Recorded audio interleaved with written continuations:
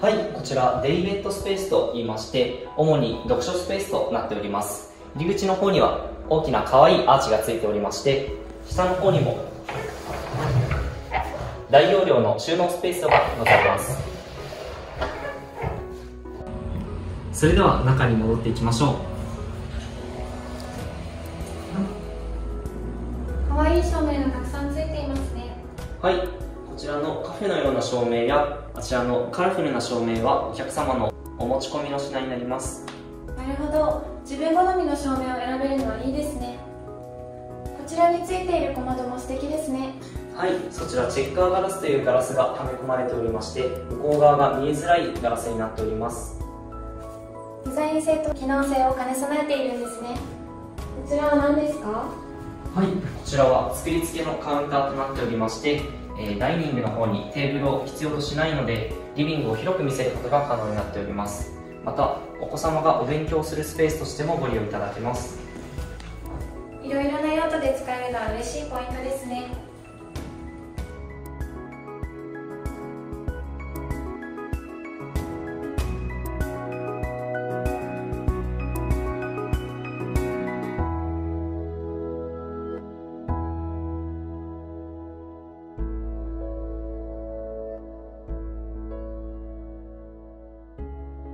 それではキッチンの方に向かいます。手前にはこのような大きな収納を設けております。また下の方はお施主様のご希望でピアノを入れられるようなスペースを設けております。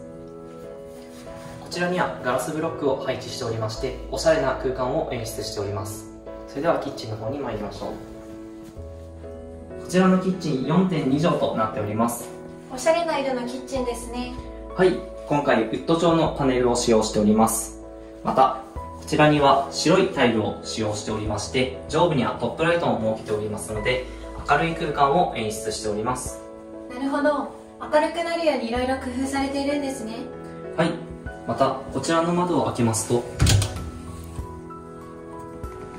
リビングダイニングにつながっており、家族の気配も感じられて換気をすることもできます。また、匂いの気になる料理を作るときには、閉じた空間も作れて便利です。主婦には嬉しいポイントがいっぱいですねはい。また、下の方は半分だけタイルになっており、水跳ねが気になるところをカバーしております。また、横にはひぬかも設けており、調味料置きとしても利用することができます。いろいろな用途で使うことができるんですねはい。キッチンの奥はパントリーになっております。広さは1.5畳ありまして、オープンタイプになっているので、とても大容量となっております。また、上部には可愛い照明を設けております。こんなに広いパントリーがあるといろいろなものを収納できていいですね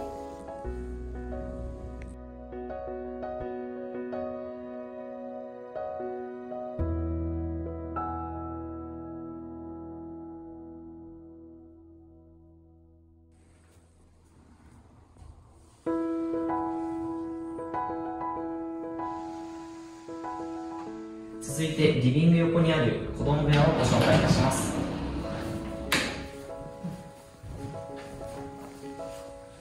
こちら4.4畳のお部屋が2つございます。今は一室になっておりますがお子様が大きくなるとこちらに間仕切りをはめ込んで2室に分けることができます。クローゼットの方はオープンクローゼットになっておりましてこのようにあえて扉を設けないことでお部屋がより広く感じることができます。こちらにはスタディコーナーを設けておりましてこのように作り付けの机とお子様の教科書などを収納する本棚を設けております。また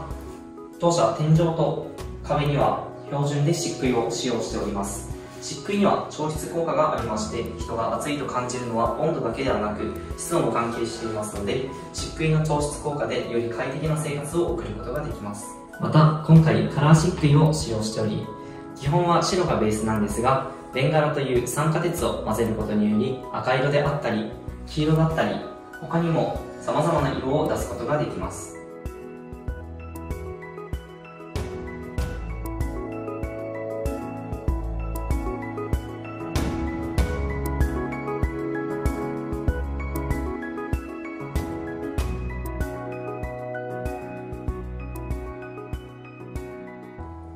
こちらのランドリールームが4.2畳の広さとなっております。